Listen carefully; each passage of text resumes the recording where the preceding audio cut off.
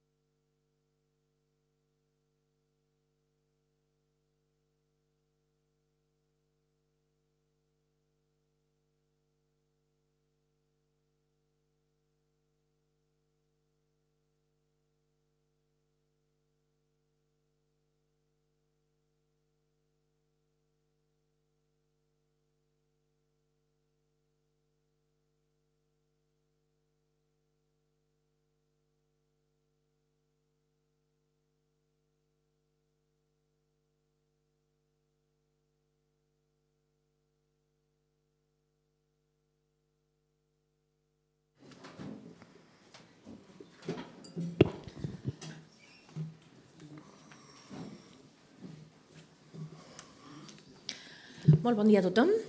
Si us sembla, comencem. Doncs molt contenta d'estar avui aquí acompanyant aquesta roda de premsa amb la regidora de Feminismes LGTBI, la Laura Pérez, i amb, també qui ens acompanya avui aquí a la taula, les directores de cinema, la Judit Colell, la Carla Sobirana, el director i realitzador, el Miguel Bosch, també representants ens acompanyen de la Fundació eh, La Casa i el Mundo i també del, del Festival Fire, que ens acompanyen avui aquí també àmpliament i que han coordinat aquest projecte, projecte que presentem avui sobre un tema que és absolutament clau per, per aquest govern municipal i per la ciutat de Barcelona, que és el tema de la diversitat afectiva i sexual. Un tema que, malauradament, en aquests dies està especialment en, en present en les notícies no? arrel de, del terrible atemptat d'Orlando. Nosaltres, des del govern municipal, hem dit des del primer dia que, bueno, de fet, amb la creació de la regidoria no? que encapçala la, la Laura, que donàvem tota la importància a la lluita no només diguem-ne reactiva, sinó sobretot proactiva contra les fòbies i a favor i en defensa de les diferents formes de diversitat afectiva i sexual. Tal com deia, l'atemptat d'Orlando fa que tinguem molt present el que els col·lectius LGTBI ens recorden regularment, que és que, malgrat que és veritat que gràcies a la lluita i al compromís de moltíssima gent eh, dels col·lectius LGTBI en, els, en les darreres dècades s'han conquerit drets i llibertats formals, però encara estem molt lluny de la normalització de la diversitat, que en realitat és l'única normalitat eh, entre els éssers humans. No? Tots i totes som afortunadament diversos i diverses. Però encara estem lluny i sabem que un dels fenòmens que més preocupen a la nostra ciutat on hi ha afortunadament un teixit LGTBI molt viu, molt actiu, molt compromès amb la defensa de la, de la diversitat i amb l'orgull de la diversitat, que no és només defensa, que és tenir orgull d'aquesta ciutat eh, diversa. I aquests col·lectius ens venen advertint de que segueixen produint quotidianament eh, en el dia a dia petites agressions, discriminacions constants, que després no deixen de ser, eh, malauradament, el substrat d'agressions més greus que es produeixen puntualment. No? Um, I els fets d'Orlando, com deia, doncs, doncs avui ens ho fan tenir molt present. Per combatre tot això sempre ho hem dit que la clau és la prevenció, és el canvi cultural, el canvi de valors i per això l'escola i l'àmbit educatiu són absolutament claus, no? sempre en la lluita contra tota mena de discriminació i també en aquest cas en la diversitat sexual i afectiva. Creiem que sobretot hem de treballar amb els nostres infants no? perquè és on estem dissenyant el futur de la nostra ciutat que volem lliure i diversa i respectuosa amb totes les diversitats. Aleshores, és molt important que des de petits i petites realment normalitzem aquesta, aquesta diversitat i ens familiaritzem a parlar-ne i abordar-la i a veure-la com, una, com una riquesa. I a més també perquè en l'àmbit de l'escola eh, s'han detectat no? que, que es segueixen produint fenòmens de, de, de discriminació habitual, casos de bullying, no? que és una de les coses que més preocupa a la comunitat, així que doblement, tant per combatre aquests fenòmens de, de bullying, de, de discriminació en l'àmbit escolar, com perquè estem educant en el que ha de ser el futur de la nostra ciutat, que volem lliure i diversa, doncs precisament per això l'àmbit educatiu li donem la màxima importància. I és en aquest context no, de l'àmbit educatiu on presentem aquest projecte que ha implicat a cinc realitzadors i realitzadores que han col·laborat de forma voluntària i que per això avui volem agrair molt especialment, de tot cor, els hi volem agrair moltíssim la seva implicació, la seva resposta immediata, una feina que es podrà bé, bueno, aquí avui ens, ens acompanyen eh, tres, dos autores i un autor, però també han col·laborat Isabel Cuixet i Isaki Lacuesta, que avui no podien estar aquí, però que també participen en el projecte.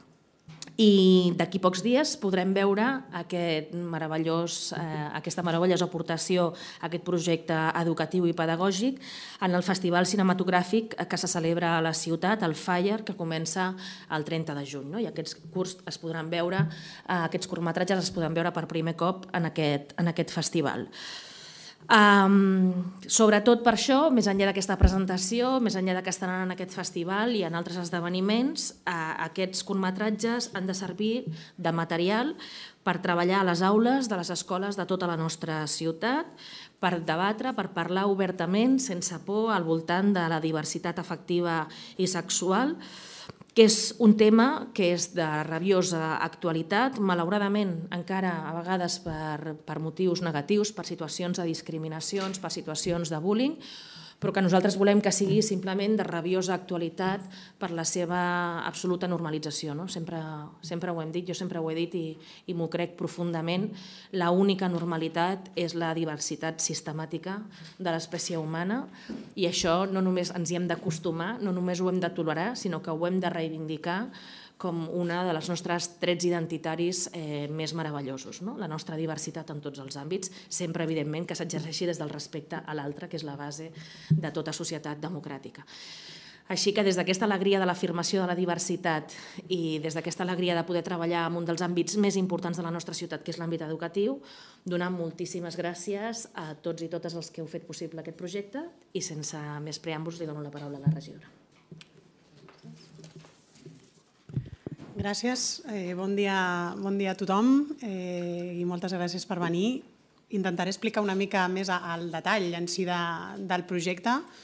Una presentació del projecte que, a més, com deia l'alcaldessa, i ara estàvem comentant prèviament, eh, ve marcat per pels crims per l'atemptat a Orlando. Eh, són les últimes víctimes conegudes de l'homofòbia i dic conegudes perquè justament aquest projecte va enfocat a, a les víctimes de la LGTBI-fòbia, no? que és un concepte que, del que venim parlant doncs, tot aquest any des de la creació de la regidoria i els moviments hi venen eh, parlant des de mm, fa molt més. No? Eh, són conegudes, però n'hi ha molt, molts casos encara a la nostra ciutat i molt més enllà de persones que estan patint aquest tipus de, de discriminació que té diferents intensitats, que estem veient doncs, eh, que, que mm, des de l'insult homòfob fins a, a un cas tan greu com a Orlando doncs, s'estan vivint també dins i fora de les aules casos de discriminació eh, molt greu. Aquesta era la motivació del projecte que presentem avui un projecte que volem treballar um, a través de la xarxa d'escoles per la igualtat i la no discriminació. Sabeu que aquesta era,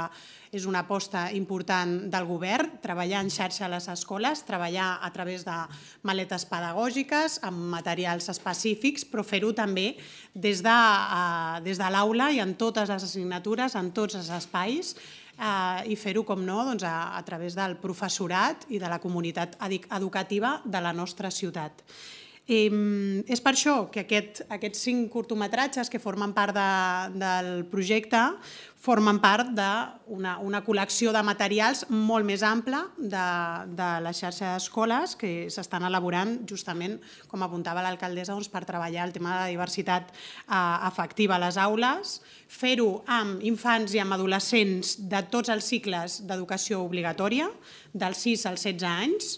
És per això que dins d'aquests cinc curtometratges doncs n'hi ha, òbviament, diferents estils i sensibilitats, diferents temàtiques, però també eh, diferents públics. I per tant doncs, n'hi ha alguns més lúdics eh, que han utilitzat també la música, imatges, doncs ara estem veient eh, molt suggerents, molt divertides, però també tractats de cara a un adolescent eh, des d'una temàtica doncs, eh, eh, amb un tractament més greu no? de, del que realment estan vivint per aconseguir empatitzar, per aconseguir doncs, portar els infants i els adolescents a la reflexió sobre el perquè de la discriminació i anar doncs, a, des de les aules treballant doncs, a, a construir persones, no? a construir des de, des de la petita infància eh, una ciutadania responsable que lluita contra les discriminacions i que respecta la diversitat i la celebra, que al final és el que sempre diem que és el nostre objectiu, acabant doncs, no excusant la diversitat sinó celebrant-la a la nostra ciutat.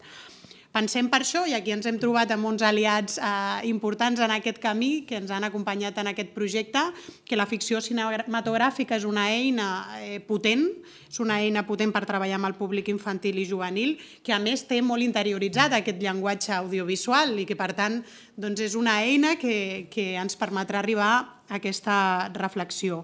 Com deia, al final doncs, generant als infants i en adolescents aquest debat no, dins de l'aula eh, per abocar cap a actituds no discriminatòries. No vull fer més èmfasi, recordar que encara existeixen aquests comportaments, crec que, que som tots i totes molt conscients, comportaments que de vegades també reprodueixen dins de l'aula, no només fora, i, i portem mesos parlant justament perquè hem tingut doncs, casos en particular.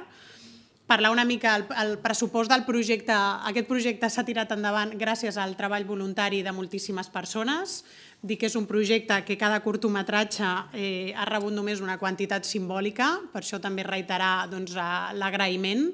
Ha rebut cada curtometratge 5.000 euros per la seva realització, és una manera de cobrir les despeses que entenem que era i que és molt simbòlica i per tant realitzadors, eh, realitzadores eh, no, han, no han cobrat per la seva feina és una, una col·laboració conjunta no? de persones i d'institucions sensibilitzades per eh, treballar en aquesta línia, tant doncs, al nivell artístic audiovisual, la Coordinadora Catalana de Mitjans Audiovisuals, la Fundació La Casa i el Mundo, persones individuals com la Mireia Iniesta, que han estat des del primer moment, Casa Lambda també, no? les entitats del moviment, des del recolzament del Cinefire, i crec que, que i voldria acabar doncs, posant en valor això, quan tots tenim molt clar i quan totes tenim molt clar quin és l'objectiu, quina és la societat que volem, podem trobar aliances també amb les, amb les institucions per treballar conjuntament en aconseguir una societat mm, més justa, més igualitària i on no tingui cabuda la,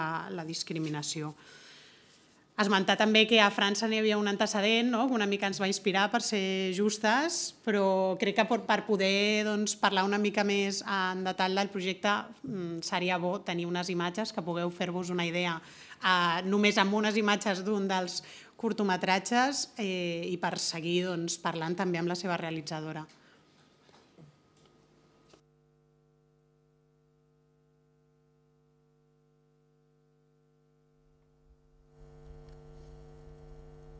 Hi havia una vegada una petita lleona que tenia un somni, ser un lleó. Els seus amics, que la coneixien bé, van decidir ajudar-la. Els més ràpids van ser els núvols, que li van envoltar el cap i li van fer els cabells que necessitava. Però aviat van començar a caure gotes que la van deixar xopa.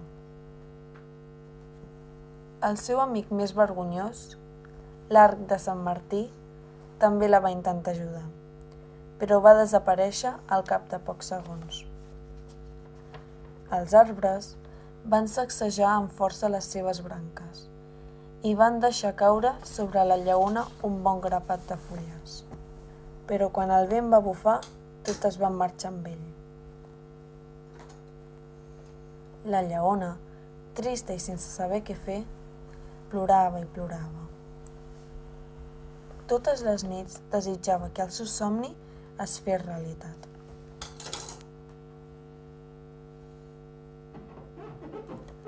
La seva mare, en veure-la tan trista, va cridar tots els lleons del regne i un per un li van donar el seu ble de cabells preferit.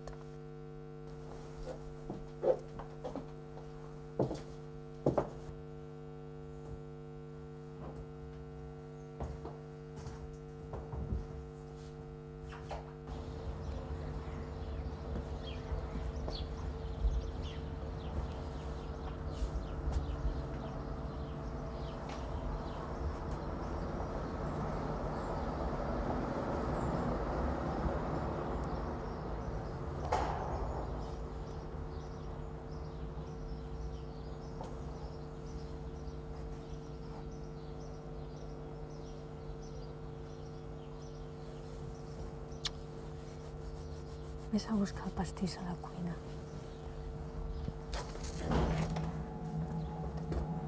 Amb la seva nova cavallera i des d'aquell dia tots la van anomenar el lleó Roger.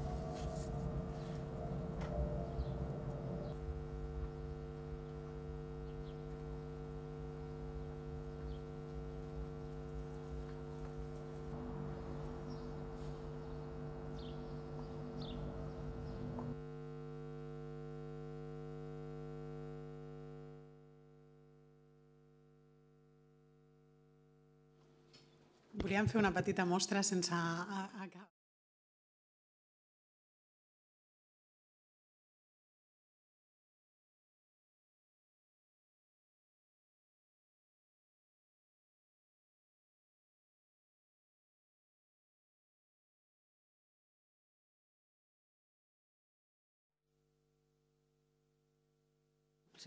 Ho he pensat, eh? No sé si ets apretat automàtic.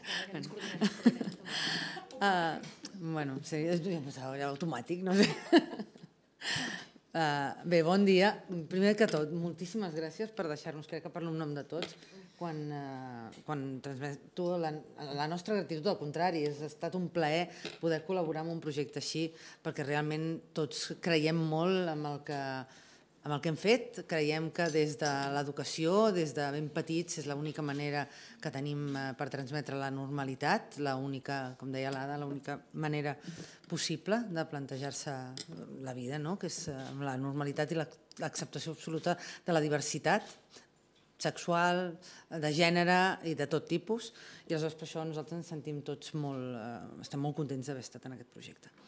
El que volia dir, heu vist que hi havia un codi de temps, encara el curtmetratge està en procés, vull dir, estem treballant encara al so, fins, al, fins al, ara al juliol no l'estrenarem dins del, del festival Fire, Uh, i alguns d'ells encara, alguns estan més acabats, altres estan, estan menys. Uh, la veritat és que, bé, per nosaltres, uh, com deia ara, ha estat un, un autèntic, un repte, primer, una gran responsabilitat, el fet que ens hagueu triat a nosaltres cinc per, per parlar de, de, de, coses tan importants. Uh, jo en el meu cas és un curt sobre la, transexualitat. Uh, el que volia sobretot era uh, presentar una persona que, que no parlar de l'odi cap al propi cos, sinó parlar d'una diguem d'una situació que, que es dona amb molts, amb molts nens, amb molts adolescents, eh, d'una manera diferent de com s'havia parlat fins ara i d'una manera també que pels, eh, pels estudiants, pels nanos que, que aniran als curtmetratges aquests eh, al, al, diguem, al, fin, al final, on han d'anar als curtmetratges de les escoles i que per ells fos una, una, una explicació planera i d'una manera que ho poguessin entendre i que poguessin eh, que transmetéssim el missatge al màxim, de, de, al màxim possible.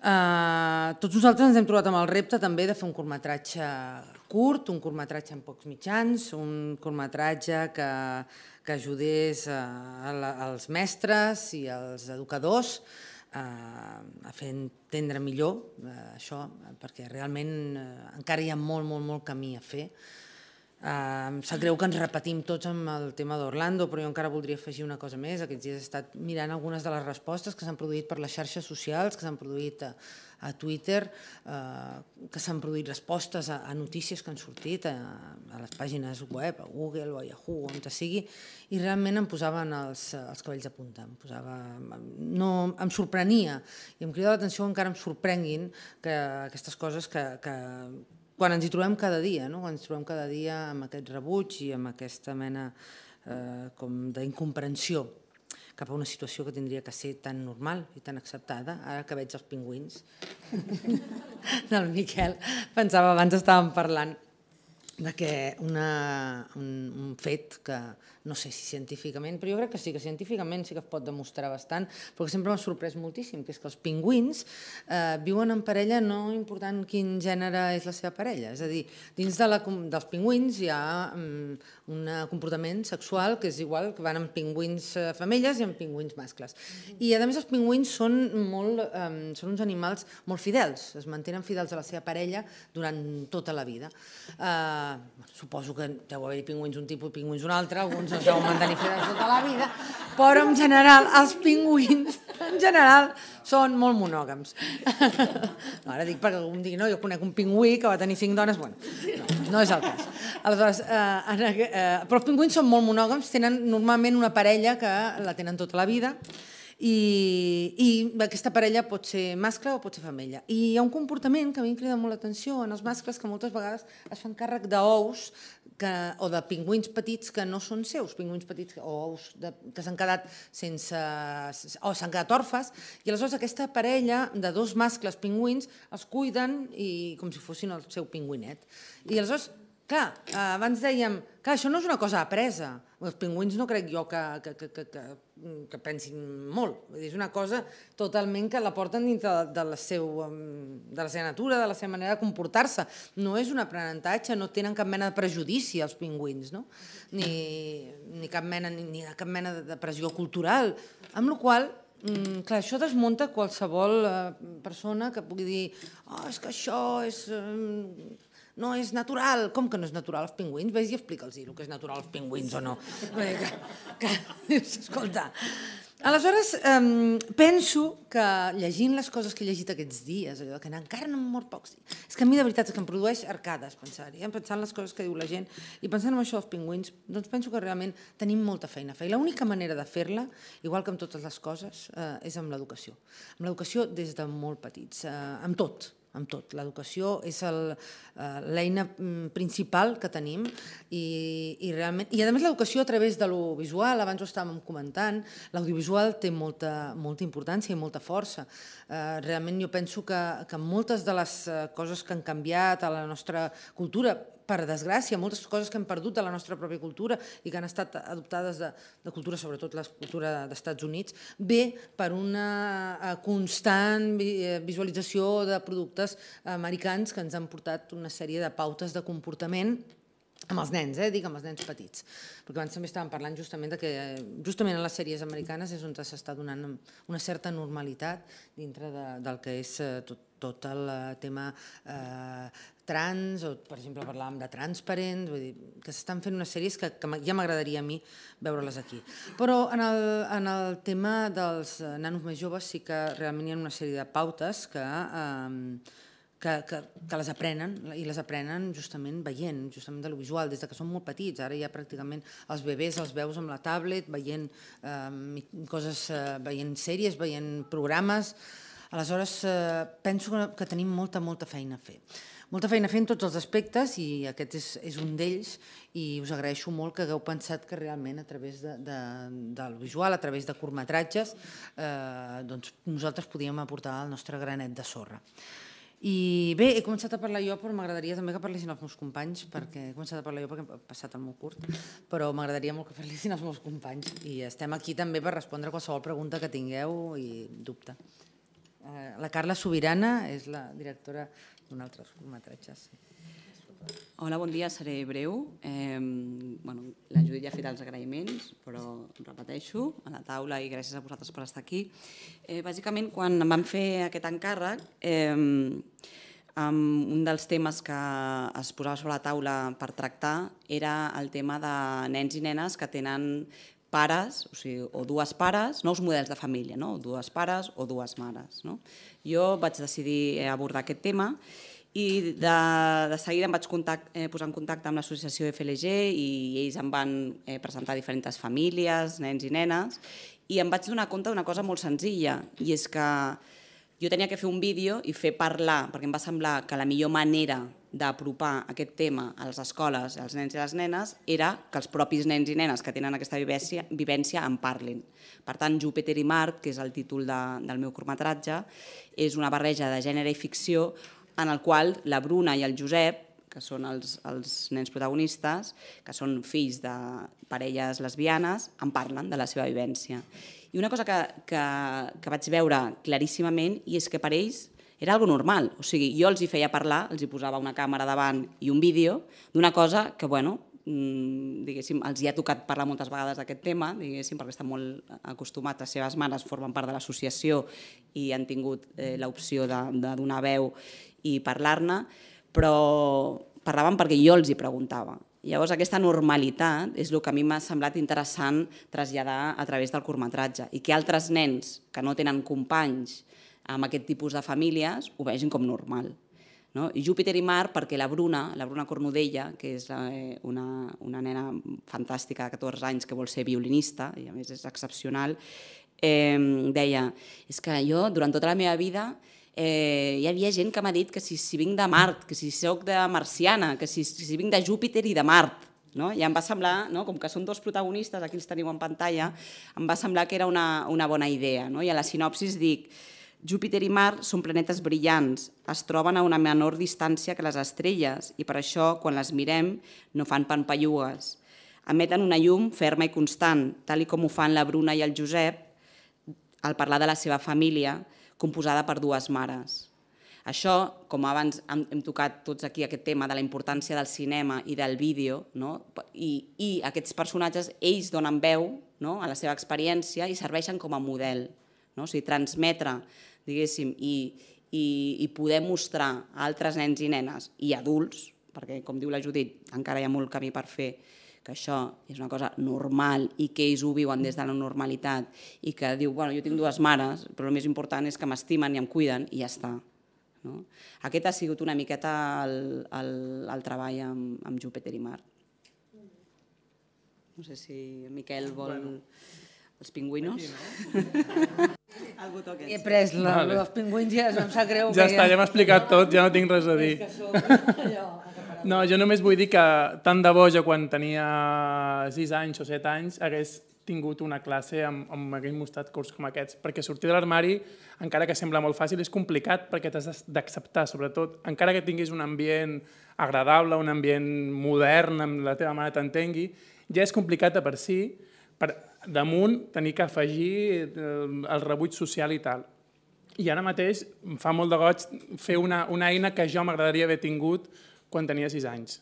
I jo crec que és el més important, sobretot que t'ho expliquin com algo normal, no? perquè ja tot, també tenim a Disney aquesta, aquest hashtag que hi ha per cercar una, una lota a la, a la Elsa de Frozen 2, que s'intenta, no? que crec que és una mica el sentit de tot això, no? fer que tot això sigui normal i una mica el meu curt va en aquest camí. És, un, és el curt potser més, més lúdic, que hem dit, aquest, mm, enfocat sobretot per nens més petits, i està contant una història, una fàbula, com, com la de l'Elsa de Frozen, com qualsevol d'aquestes de Disney, on els protagonistes són homosexuals, però res més, no, no hi ha cap mena d'intenció de, de, de drama, de, no res, és normal, completament normal i és una opció més.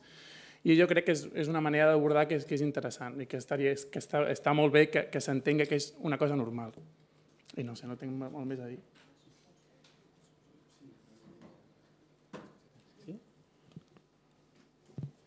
Bueno, només afegir, eh, bon dia, soc l'Antoine Lenetti, soc el eh, coordinador de, de la mostra Fire, treballo també per la Casa i el Mundo, que és aquesta fundació que, que ha rebut aquest encàrrec de l'Ajuntament de Barcelona. I llavors, llavors eh, en primer lloc volia agrair realment l'atreviment de l'Ajuntament, perquè per aquestes coses s'ha de ser atrevit s'ha de ser atrevit perquè molt sovint la societat va més enllà que, que no pas els educadors, diguem-ne, per lo bo i per lo dolent. Llavors hem de ser atrevits perquè si no poden passar coses com han passat fa, fa pocs dies. Llavors, moltes gràcies a, eh, per això a, a la vostra decisió de, de, de, de muntar tot aquest projecte. Moltes gràcies, evidentment, als, als directors que, han, que han, han deixat la pell per fer aquests curs, han acceptat tot seguit i realment han treballat moltíssim per, per portar-ho endavant volia dir una cosa pel, pel que fa als continguts i una mica l'enfocament, quan hem fet uns briefing no, per explicar una mica el que volíem, eh, el que volíem ressaltar era el tema de la normalitat, evidentment, i el tema d'explicar què és la diversitat afectiva. Què és la normalitat de la diversitat afectiva? Com ho deies eh, abans, Judit, amb el tema dels pingüins, que, que és totalment natural i normal que, que, bueno, que, que, que cuidin a, dos parelles, parelles de, de, de, de la mateix sexe, ous, etc. Llavors, explicar què és la, la, la diversitat és, és important eh, perquè sovint aquest tipus de projectes poden caure també en el dramatisme, en el explicar les discriminacions que existeixen, evidentment, però explicar i enfocar-se només en el tema de les discriminacions pot ser perillós, perquè ens oblidem de l'important que és la normalitat i explicar què és, en el fons, realment la diversitat efectiva. Llavors, una mica l'enfocament que els havíem explicat als directors que, i que han eh, transmet absolutament eh, perfectament. Eh, llavors, jo crec que és una eina fantàstica pels nens, és una eina fantàstica per les escoles, pels festivals de cinema eh, per nens, és una eina fantàstica pels adults, evidentment també, de fet, mm, de pas, eh, heu de veure la sèrie que fa el, el Miguel que es diu Jo te quiero, jo tampoco, que és per adults, perquè també, i per això t'havíem eh, contractat, entre cometes, perquè ens ha agradat molt l'enfocament que, que poses en, en això, explica què és l'homosexualitat, què és la transexualitat i tot això. Llavors, res més. Moltes gràcies per la, la vostra dedicació i l'atreviment la, encara de, de l'Ajuntament. Sí, només aclarir, per si és una pregunta, m'avanço, que, tots els materials, que, que cadascun dels curtometratges va acompanyat per, una, per un material complementari eh, didàctic per treballar a les aules, que ha estat preparat per una especialista, una pedagoga eh, especialista. Ja està, si teniu alguna pregunta. I en aquest sentit, com que això és informació de servei públic, al final les escoles quan ho tindran disponible? Curs que ve en tenen, no, ja? Sí, la idea inicial és eh, treballar-ho a través de les maletes pedagògiques de la xarxa d'escoles per la igualtat i la no discriminació. Pensàvem tenir aquest material en codi obert perquè ja abans de presentar-ho eh, ens estaven arribant peticions perquè bueno, ells són persones també conegudes i que estàvem, estàvem tots parlant del projecte i per tant s'està plantejant a través d'alguna plataforma i coordinadament amb el Consorci d'Educació de, tenir a, a disposició de totes les escoles perquè el PAC ja està preparat, no és només el curtometratge sinó que va amb el material pedagògic i, i pot estar o pot, pot ser utilitzat per qualsevol escola de Catalunya. És que el material el material pedagògic s'ha de completar ara, amb els curs que s'estan acabant. Llavors, hi ha una part que està feta i després, en funció dels curtmetratges, s'ha de, de completar aquest material per, per fer activitats eh, és, aplicades a cada, a cada treball, a cada vídeo. Seran només escoles de Barcelona o està pensat perquè ho pugui utilitzar qualsevol altra escola de Catalunya? Sí, de fet, de treball on ha consorcis per, perquè tinguin accés a, a nivell Catalunya. Ara ens plantejaven també a Madrid, òbviament s'hauran de subtitular, el qual també ens sembla una cosa positiva, eh, però en tot cas la idea és això, el codi obert, és, és ser generosos com ho hem estat també totes les persones que han col·laborat en aquest projecte i ser-ho doncs, perquè l'objectiu és eh, va molt més enllà no, de la ciutat de Barcelona. Sí, hola, bon dia. Um, jo volia fer una pregunta sobre... Uh, bueno, en primer lloc volia dir que moltes gràcies per aquest material, em sembla una meravella i és una eina molt interessant. Jo he treballat durant molts anys com a professor de secundària, he estat uh, coordinador de l'ESO i tutor d'ESO.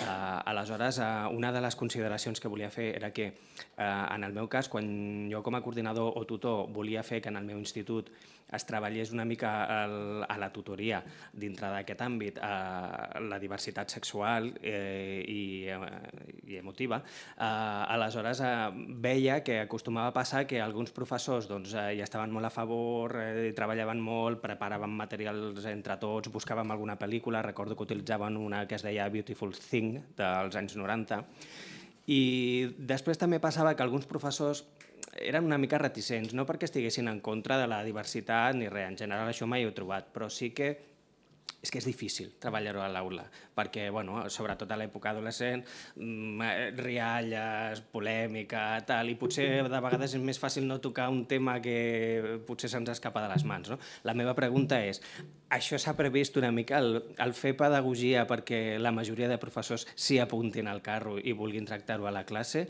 o, o deixem una mica la bona fe de cada docent? Gràcies. Compartir que, que és difícil, però també és necessari.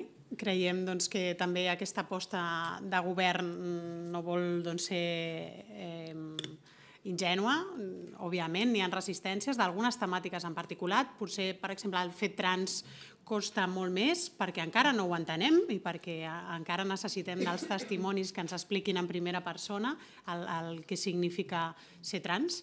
Eh, i, I aquesta resistència, des del desconeixement, eh, justament es lluita doncs, posant i facilitant materials, fent una aposta també des de la societat civil i des de les institucions, eh, però òbviament donar les facilitats perquè es treballi a l'aula. N'hi ha moltíssims també eh, professors i professores que, ens ho, bueno, que ho volen treballar. Ara, si no tenen el material per fer-ho, al final eh, la seva imaginació, les dificultats al claustre, eh, crec que, que aquest material justament el que fa és apropar les maletes pedagògiques de la xarxa d'escoles i després fer que aquesta xarxa d'escoles que porta dos anys en pilot i que en breu presentarem l'avaluació, el que vol és arribar a totes les escoles de la ciutat i fer-ho sempre amb la comunitat educativa, no com a una imposició, eh, fer-ho també doncs, de, de la mà de la comunitat educativa perquè sabem que és un tema de transformació social que no serà ni un dia ni de dos, ni d'una classe en particular o d'un taller, sinó que, que és anar donant passets i fer-ho de la mà de la, de la comunitat educativa. Yo, si no hi ha més me m'agradaria a alcalde de San que m'expliqués un poco què se ha buscado con este proyecto precisament en este moment en que desgraciadament, vuelve a ser de. Bueno, pues eh, un placer poder estar hoy aquí acompañando este proyecto que quiere tratar uno de los temas que nos parecen claves para nuestra ciudad, para esta ciudad justa, libre, de igualdad de oportunidades que queremos, y es el tema de la diversidad sexual y afectiva. Entonces presentamos un proyecto liderado por la, por la Concejalía de Feminismos y LGTBI, que ha contado con la colaboración voluntaria, que agradecemos muchísimo, ¿no? de, en este caso, cinco directoras y directores de, cine que, voluntariamente han colaborado y, agradecemos mucho porque efectivamente han tenido una gran disponibilidad para hacer estos cinco cortos que se van a llevar a las escuelas que están trabajando ya el tema de la inclusión y la diversidad. Y para nosotros el mensaje fundamental de esto es que eh, que la única normalidad es la diversidad y que por lo tanto no solo se trata de educar en respetar la diversidad, sino en saber reconocerla, celebrarla, reconocernos en esa diversidad y saber que eso también nos hace ser quienes somos, ¿no? que la especie humana es mejor precisamente porque es diversa ¿no? y porque ninguno de nosotros somos iguales el uno al otro. Y entonces, en ese, en ese trabajo de normalización de la diversidad y de lucha, evidentemente, contra la discriminación y contra las fobias, ¿no?